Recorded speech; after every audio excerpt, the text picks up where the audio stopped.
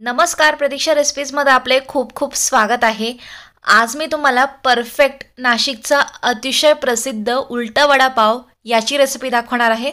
हा वडा तुम्हाला कट करून दाखवते. बघा केवढा फ्रेश आहे अगदी स्पंजी आणि यामध्ये एक थेंबसुद्धा तेल गेलेलं नाही आहे कमीत कमी तेलकट आणि परफेक्ट असा उलटा वडापाव कसा बनवायचा हे आपण बघूयात. जसा गाड्यावर उलटा वडापाव मिळतो किंवा साधा वडापाव मिळतो सेम तशीच चव घरच्या घरी कशी देता येईल किंवा कसा बनवावा लागतो याची मी परफेक्ट रेसिपी शेअर केलेली आहे. आणि बिलकुल हा वडापाव तेल पीत नाही किंवा तेलकट होत नाही काही खास टिप्स आणि ट्रिक्स आहे. व्हिडिओ शेवटपर्यंत कुठेही स्किप न करता बघत राहा म्हणजे तुमचीसुद्धा रेसिपी अचूकपणे एकदम परफेक्ट बनेल. पटकन रेसिपीला सुरुवात करूयात. सर्वात अगोदर बेसन पीठ भिजून घ्यायचं आहे तर तीन वाट्या चाळलेलं बेसन पीठ घेतलं शक्यतो विकतचं बेसन पीठ वापरावं त्याने खूप छान चव येते. अर्धी वाटी किंवा चार चमचे यामध्ये मी कॉर्नफ्लोअर घालून घेते. कॉर्नफ्लोअरमुळे छान कोटिंग येते आणि कमीत कमी हा वडापाव जो आहे तो तेलकट होतो त्यामुळे कॉर्नफ्लोअर अवश्य वापरून बघा एकदा. तुम्हाला खूप मस्त रिझल्ट मिळेल. आता यामध्ये दोन ते तीन चिमूट हळद घातली आहे त्याच प्रमाणात लाल तिखट आहे. आणि अर्धा चमचा ओवा मी हातावर चोळून यामध्ये घालून घेते जेणेकरून ओव्याचा चव छान येईल किंवा त्याचा फ्लेवर्स आणखी एनहान्स होईल. आता यामध्ये आपल्याला चवीपुरता मीठ घालायचं आहे. आवडत असेल तर थोडीशी बारीक चिरून कोथिंबीरसुद्धा तुम्ही यात घालू शकता. सुखं साहित्य अगोदर चांगलं मिक्स करून घ्यायचं आहे आणि त्यानंतर आपण यामध्ये थोडं थोडं करत पाणी घालत त्याचं छान बॅटर बनवणार आहोत. एकदम यामध्ये पाणी ओतू नका. बऱ्याचदा आपण हीच चूक करतो. बॅटरमध्ये एकदम पाणी ओततो आणि मग त्याच्या गाठी होतात. मग त्यानंतर फुटत नाही. एकदा की बॅटर तयार झालं की. त्यासाठी असं छान थोडं थोडं पाणी घालत. आणि बघा इथे छान घट्टसर बॅटर झालं आहे ते अगदी व्यवस्थित आपण फेटून घेणार आहोत. पातळ अगोदर बनवायचं नाही आहे थोडंसं कन्सिस्टन्सी याची ॲडजस्ट करत करत करत आणि मग त्याला आपण परफेक्ट कन्सिस्टन्सीवर आणणार आहोत. तर इथे बघा फार पातळसर नाही आहे आणि अति घट्टसुद्धा नाही आहे परफेक्ट कन्सिस्टन्सीचं इथे बॅटर तयार झालं आहे समजत नसेल तर असं बोट बुडून बघायचं. बोटाला छान कोटिंग येते. खूप पातळ पण ही कोटिंग वाटत नाही आहे तर परफेक्टली हे पीठ आता तयार आहे. तोपर्यंत आपण इथे जी बटाट्याची चटणी आहे ती बनवून घेऊया. तर मिक्सरमध्ये साधारण पंधरा ते वीस लसणाच्या पाकळ्या सात ते आठ हिरव्या मिरच्या एक इंच आल्याचा तुकडा आणि तीन कढीपत्त्याची पाने सोबतच थोडीशी कोथिंबीर आणि बटाट्याच्या चटणीसाठी चवीप्रमाणे लगेचच मीठ टाकून घेतले आता हे सगळं मी मिक्सरच्या भांड्यामध्ये वाटून घेणार आहे. पॅन गरम करायला ठेवून त्यामध्ये दीड चमचा साधारण मी तेल घातलेलं आहे. यावर एक चमचा मोहरी अर्धा चमचा जिरं घालून तेलावर छान फुलू द्यायचं आहे आणि एक चटणीचा स्वाद वाढवण्यासाठी एक साहित्य म्हणजे आपण यामध्ये धनं घालणार आहोत. तर ते धनं खलबत्त्यामध्ये थोडंसं क्रश करून घ्यायचं आणि धन्याचा जो टेस्ट आहे जो फ्लेवर आहे या चटणीमध्ये खरंच खूप मस्त लागते धन्यापुडाऐवजी.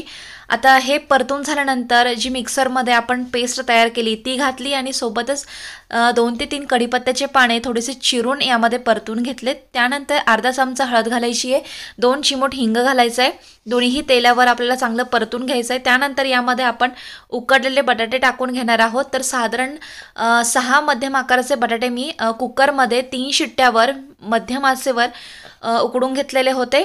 आणि त्यावरची साल काढून हे आपण परतवून घेणार आहोत. सोबतच मॅशसुद्धा करणार आहोत. फार याच्या मोठ्या पुढे ठेवायच्या नाही आहे हवं तितकं तुम्ही बारीक करू शकाल. इतकं बारीक करून घ्यायचं आहे आता चटणी दोन मिनटातच तयार होते.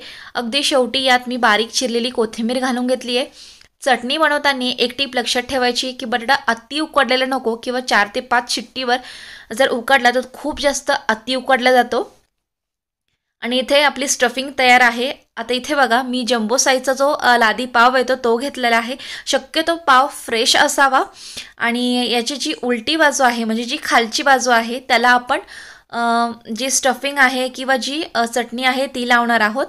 आता इथे मी कवळ्या हिरव्या मिरच्यासुद्धा घेतल्या सोबतच तळण्यासाठी. त्याला आतून चीर लावून घेतली आहे सिम्पली आपल्याला काय करायचं आहे ही जी आपण बटाची चटणी बनवली आहे ती पावच्या खालच्या बाजूने अशी आपल्याला लावून घ्यायची आहे.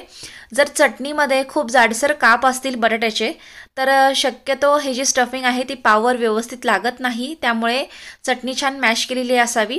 आणि इथे बघा चटणी आणि पावला चटणी लावूपर्यंत बेसन पीठ खूप छान प्रकारे भिजल्या गेलेलं आहे.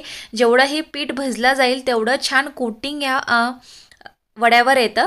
आणि छान हा वडा आता आपण घोळून घेतला आहे बेसन पिठामध्ये आणि वरची जी बाजू आहे ती आपण तेलामध्ये घालणार आहोत. हे लक्षात असू द्या अगोदर. याचं कारण पण मी तुम्हाला सांगते. तेलामध्ये थोडंसं मिश्रण घालून बघितलं. छान तापलेलं आहे. अति तापलेलं नाही आहे तर बघा जी वरची बाजू आहे पावाची ती अशी प्रेस करून धरायची आहे. जेणेकरून ती थोडीशी तळल्या जाते आणि मग लगेचच हा उलटा करून द्यायचा आहे म्हणजे खालच्या बाजूने तळून घ्यायचा आहे असं केल्यामुळे हा कमीत कमी तेलकट होतो आणि यामध्ये बिलकुल तेल जात नाही. तर पहिला वडा इथे आपला तळून तयार झाला आहे आता सोबतच दुसरासुद्धा मी इथे तळून घेते. आणि लक्षात असू द्या जर तुम्ही खूप कमी फ्लेमवर हा वडा तळून घेतला तर हा तेल पितो किंवा तेलकट होतो. त्यामुळे तेल मध्यम तापलेलं असावं आणि मध्यम आचेवर अशा पद्धतीनं आपल्याला तळून घ्यायचं आहे जर हाताने उलटवायला जमत नसेल तेलामध्ये प्रेस केल्यानंतर तुम्ही चमच्याच्या साह्याने सुद्धा हा वडा तळून घेऊ शकता. आणि तिसरी महत्त्वाची टीप म्हणजे ज्या पावच्या कडा आहेत त्या बेसनपिठामध्ये व्यवस्थित घोळल्या गेल्या किंवा त्यावर छान बेसनपिठाचं कोटिंग लागलं गेलं का आतमध्ये तेल जात नाही. आणि शक्यतो लक्षात ठेवायचं कमी आचेवर तळू नका. आता खूप मस्तपैकी वडा आपला तळून झाला आहे सोबतच मी हिरव्या मिरच्यासुद्धा इथे तेलामध्ये अगदी शेवटी तळून घेतलेल्या आहेत. आणि चिरल्यानंतर यावर मीठ घालून आणि मगच वाढायला घ्यायच्यात. तर इथे गरमागरम नाशिकचा प्रसिद्ध आपला उलटा वडापाव बनवून तयार आहे. जर एक गोष्ट लक्षात आली असेल तर बघा किती छान सुबक असं हे पीठ ह्या पावर कोट झालं आहे कुठेही वाकडे तिकडे याला फाटे फुटलेले नाही आहेत मस्त एकसारखे सर्व वडे तयार झालेले आहेत. सोबतच चिंचेची चटणी सर्व केली आहे आणि तळलेली हिरवी मिरची.